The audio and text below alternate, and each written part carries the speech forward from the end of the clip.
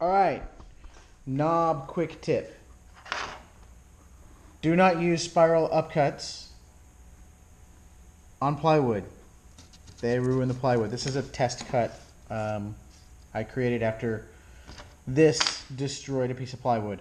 Um, that's a crappy bit, so don't use that bit. That being said, don't use an upcut spiral on plywood. This actually does all right on MDF. It actually cut all the holes here, so um, MDF fine, but plywood bad.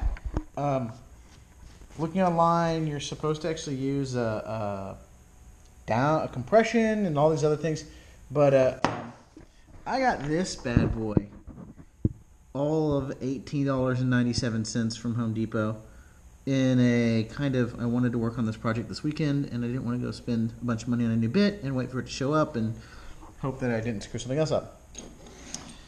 And look at that. That that don't suck. Uh, that was 22,000 RPM. It's too small for the accelerations to matter, but um, theoretically it was 270 uh, inches per second.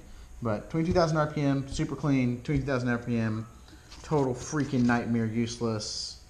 Wouldn't feed it to my dog. So, bad, good. Upcut bad for plywood, straight cut good for plywood. And yes, in a perfect world, I'd do a, a downward spar down cut so that it would be compression, and, and that's supposed to be really good too. But but you know, this was eighteen dollars, and I could get it at Home Depot. So yeah, Home Depot. There's a link in the bottom, and uh, if you if you have like the perfect bit for plywood that is not a that's not a, a you know a hobby bit like this, it's like the bit you should own, then uh, put it in the comments. All right, thanks.